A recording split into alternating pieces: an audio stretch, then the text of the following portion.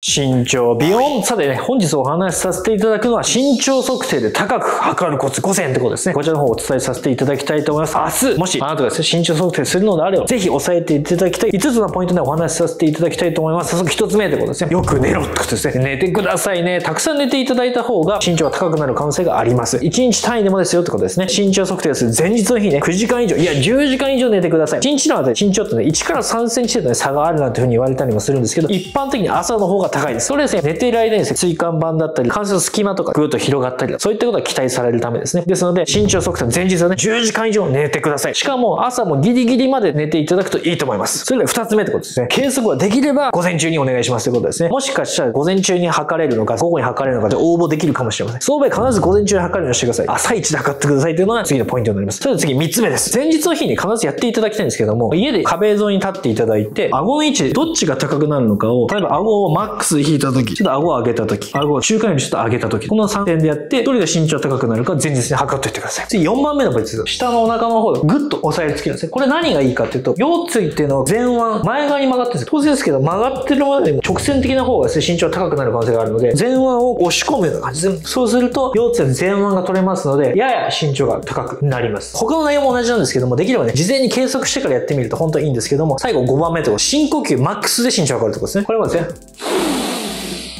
こうやって深呼吸マックスでやると肺がこう膨らむわけですね。当然なんですけど肺がふらふらってしぼんでるよりも膨らんだ方が進展作用がありますよね。だからそうするとマックスまで深呼吸して測る。これでね、もう確実に伸びると思います。それでは最後にですね、もう一回ね、どうやって測るか復習していきたいと思います。まず最初の一つ目のポイントは、前日はよく寝ろってことですね。10時間以上寝てください。そして2番目、計測はできるだけ午前中に、いや、できれば朝一にお願いします。そして3番目、顎の位置をね、どれにするか事前に決めといてください。そして4番目、下っ腹を引っ込めてください。そして5番目、深呼吸、マックスで計測しましょう。これからもですね、身長を生かせることね、全自然でね、配信していきたいと思います。身長とましではチャンネル登録よろしくお願いします。それではまた